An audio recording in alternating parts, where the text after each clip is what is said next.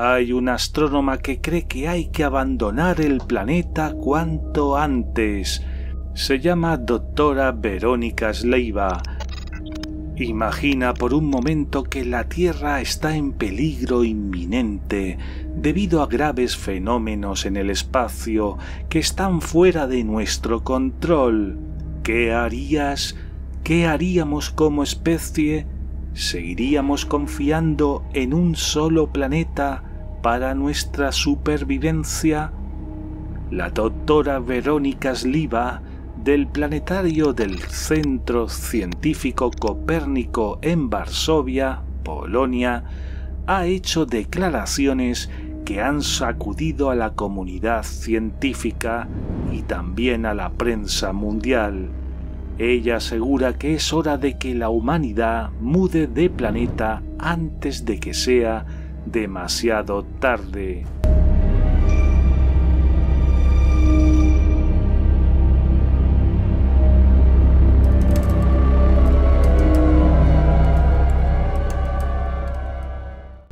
En octubre de 2019, la doctora Sliva habló abiertamente sobre la necesidad de que la humanidad se asiente en otros cuerpos celestes del sistema solar como Marte. Para la doctora Sliva la vida en la Tierra depende más de lo que se creía en los acontecimientos extraterrestres que están fuera de nuestro control. Según ella, nuestro planeta está en riesgo de sufrir varias catástrofes cósmicas y fenómenos que podrían aparecer inesperadamente en su superficie. Por eso considera que es mejor que la humanidad comience a pensar en asentarse en otros cuerpos celestes para asegurar nuestra supervivencia sin embargo, enviar humanos a Marte no es tarea fácil ni exenta de riesgos. La doctora Sliva es consciente de ello y menciona que hay dos grandes obstáculos, como son el éxito de tal misión que estaría lejos del 100% y la tripulación podría morir. Además, el costo económico sería enorme, algo que ningún gobierno estaría dispuesto a sacrificar ahora.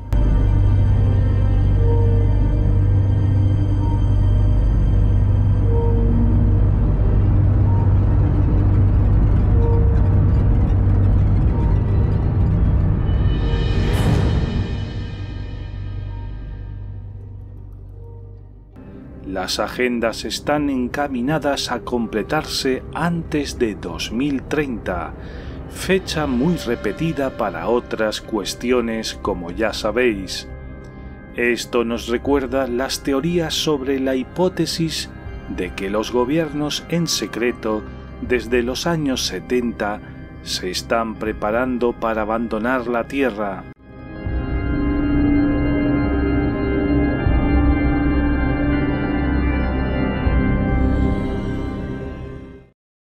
Imagina vivir en un lugar donde cada detalle está pensado para imitar las condiciones del planeta Marte.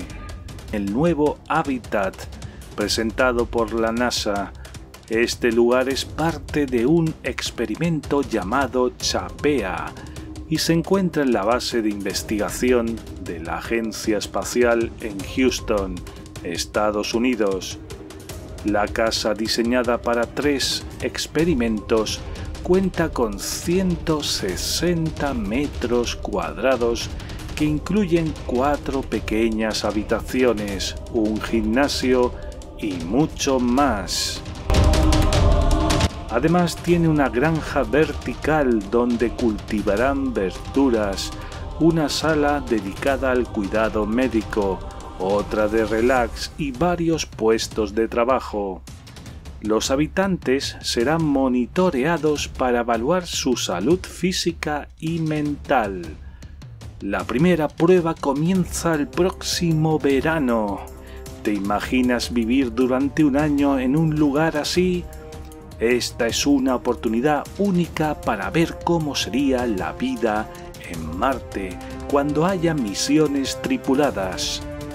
Sin embargo, hay noticias que sugieren lo contrario, porque el viaje a Marte ha sido durante mucho tiempo el sueño de la humanidad, pero ¿es realmente posible vivir allí?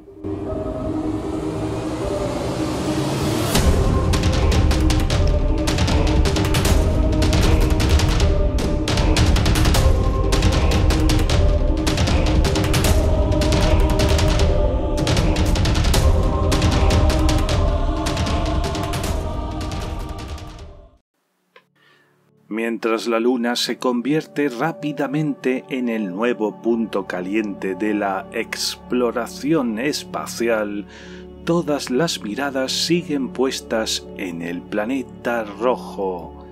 Aunque las condiciones en Marte son infernales, con un clima frío y seco, una atmósfera fina y una alta dosis de radiación espacial, Varias agencias espaciales y empresas privadas están trabajando en el desarrollo de tecnologías para hacerlo posible. Si bien los primeros astronautas que viajen a Marte enfrentarán muchos desafíos, incluyendo un largo viaje y la vida en un entorno hostil. Algunos expertos creen que la clave para hacerlo viable es la agricultura autónoma. Si los exploradores pueden cultivar sus propios alimentos, podrían sobrevivir a largo plazo en el planeta rojo. ¿Será esta la solución para nuestra búsqueda de convertirnos en una especie multiplanetaria? La verdad es que en los últimos años los multimillonarios se han convertido en los nuevos protagonistas del espacio y han tomado el papel de celebridad que antes se atribuía a los astronautas. Empresarios como Elon Musk, Jeff Bezos y Jared Isaacman se apresuran a enviar a grandes poblaciones fuera del mundo con la excusa de que la Tierra podría ser destruida o convertirse en inhabitable. Esta nueva carrera espacial es motivada por el temor a eventos cósmicos catastróficos que ocurren en escalas geológicas y cósmicas, no humanas, pero eso no ha impedido que estos magnates sueñen con colonizar otros planetas. Elon Musk, por ejemplo, ha propuesto enviar un millón de personas a Marte para el año 2050 ¿Será esto posible? Aunque empresas como SpaceX y Blue Origin han tenido algunos éxitos en sus proyectos, ninguna ha logrado alcanzar sus audaces visiones.